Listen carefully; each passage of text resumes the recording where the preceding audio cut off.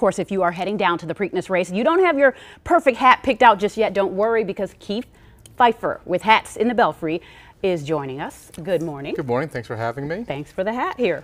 You All right, great. let's thank you. Let's start with the the hats up front. These are for guys here. Absolutely. So, guys, it's important to have the right hat. You know, so what we kind of recommend is starting off with just brim type. So, if you've got a rounder face like myself, a little wider of a brim, and Mm-hmm. if you have more of a slender face. Go with something that's got a little bit short of a brim, Mm-hmm. but whatever makes you comfortable. A lot of guys are going with you know these darker browns, and even these kind of stylish and, and really classic boaters are coming back this Mm-hmm. Yeah. I love that. And I mean, just the detail going around the sides here, that's awesome. All kinds of different patterns. Yep, and these different materials here, mixing like some straw with some some uh, Italian fabrics. It's just fantastic. Mm-hmm. That's really nice, really nice. Okay, so what do we have at the back? We have got hats here for the ladies. We've got hats, we've got hatinators, we've got brims, and this beautiful fascinator Mm-hmm. on you, which has been really popular. That really chic look right there. It's a mm-hmm. nice disc. Yeah. really, really on trend. So this is a fascinator. It's got like a, a string to Yep. kind of hold it down. keeps it on. Yep.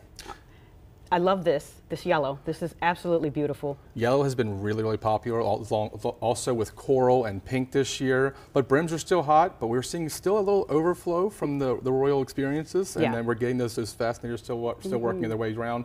And if you want to have like a little bit a little bit wider, you can kind of do these hatinators, which are a little bit taking a fascinator but making it a little bit bigger. Yeah, how do you guys come up with the ideas? Well, we partner with Christine Moore Millinery, and she is the one and only featured milliner Oh, yeah. of the uh, Kentucky Derby. So she designs these gorgeous hats. She has a, a- theater background and really has a flair for dramatic, and she just designs beautiful, outstanding women's hats. Okay, so if folks don't have a hat, where can they go? You guys will be at Preakness. Yep. So we'll be at Preakness in the uh, uh, Preakness Village and also the grandstands, and you can always stop in Hats in the Belfry on Fel- in Fells Point right before you hit the race. Yeah, all right. Thank you so much for coming in. Thanks for having me.